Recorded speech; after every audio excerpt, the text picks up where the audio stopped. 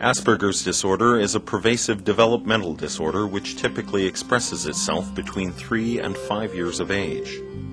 Some of the typical symptoms of Asperger's include inflexibility of thought and action, impaired communication, a failure to establish peer relationships, and a preoccupation with a narrowly defined area of interest.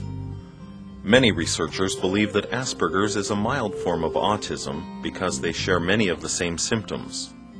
Amanda, aged 16, and her brother Tim, aged 13, have both been diagnosed with Asperger's. People with Asperger's are often physically clumsy, their speech is mechanical, and their facial expressions rarely change. They also have impaired social interactions. Note that although Amanda attends school, she generally prefers to remain relatively socially isolated. Mostly I like to stay alone. Mostly I like to stay home. hmm Not like any of the girls there who are basically obsessed with makeup boys and boy bands. You don't like any of that? Nope, I don't. Are friends, friendships difficult? Hmm. Well, I don't think so. Do you like boys?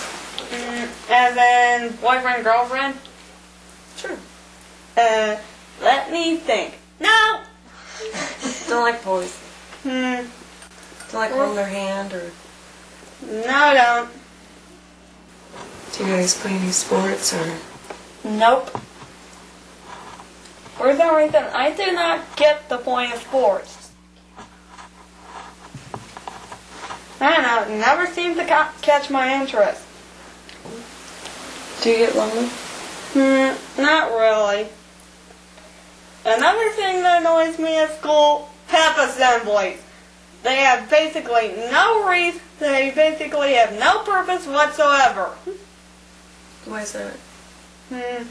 Well, basically, all they do is encourage the seniors to put down the other classmen, and another thing, they encourage certain actions that usually bug me, like screaming, stamping on the bleachers, and other stuff like that.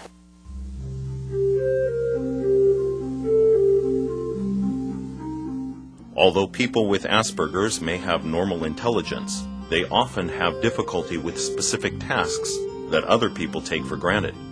For example, people with Asperger's have great difficulty interpreting facial expressions, and they are often unable to identify emotions in other people.